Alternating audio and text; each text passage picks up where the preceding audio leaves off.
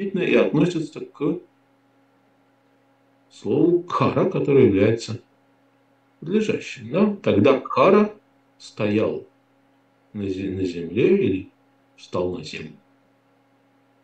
Э, может, как можем интерпретировать? Да, спрыгнув там с колесницы, которая была разбита, это цвет контекста. И вот он был Прабхагна Дханва. Да?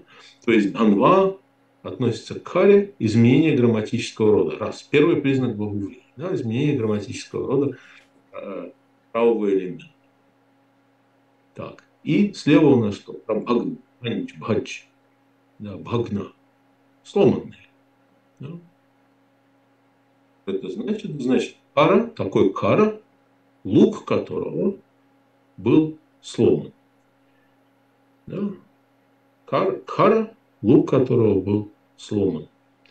Ну, вот если мы так вот вне контекста, то чисто морфологически, да, делаем морфологический такой, формально морфологический перевод Бахуврихи про, про Данва. И, как вы понимаете, мы не можем вне контекста вот этого аньяпада, аньяпадарта Прадхана, помните, э, Бахувриги, согласно Махабхашье, это такой композит, где Прадхана главным словом э, является внешняя композиция слова. В данном случае это кара.